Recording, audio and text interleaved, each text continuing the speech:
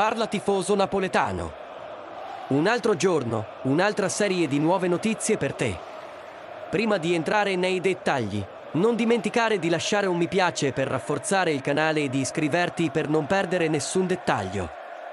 Andiamo a ciò che conta. Il Napoli tiene d'occhio il mercato e, secondo le informazioni fornite da Mauro Meluso, l'obiettivo sono i terzini sinistri della Liga. Una scelta strategica per rinforzare la rosa agli ordini di Walter Mazzarri. Ma chi sono questi giocatori nel mirino del club italiano? Juan Miranda è il primo nome che appare.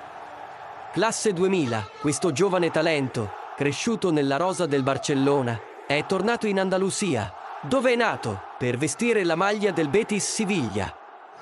Con il contratto in scadenza potrebbe diventare un'ottima opzione per il Napoli. Ma anche il Milan sta a guardare, il che potrebbe rendere interessante la disputa. Un'altra opzione è Javi Lopez, classe 2002 e giocatore dell'Alaves. Con coraggio nella marcatura, deve ancora migliorare la sua irruenza agonistica, ma potrebbe essere un investimento prezioso, valutato qualche milione. Non si ferma qui. Manu Sanchez, classe 2000 e con esperienza nelle giovanili dell'Atletico de Madrid, attualmente brilla al Celta de Vigo sotto la guida di Rafa Benitez. Un'altra opzione nel radar del Napoli. Allora, cosa ne pensate di queste possibili assunzioni? Chi sarebbe la scelta migliore per rinforzare la nostra squadra?